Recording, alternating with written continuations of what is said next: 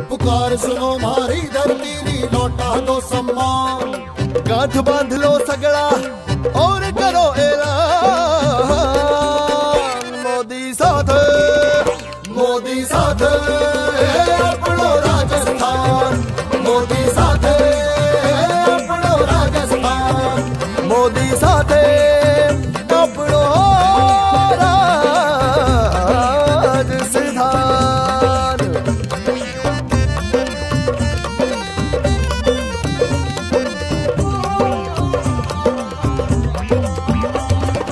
अंधियारा में डूब रिया, अब उजियारो फिर लानो है। गाँव शहर हर आँगन में खुशियाँ ने लौटाना है। भ्रष्टाचार मिटानो है, अत्याचार हटानो है। झूठा वादा रे जाल में, फिर नहीं फंस जानो है। गांठ बाँध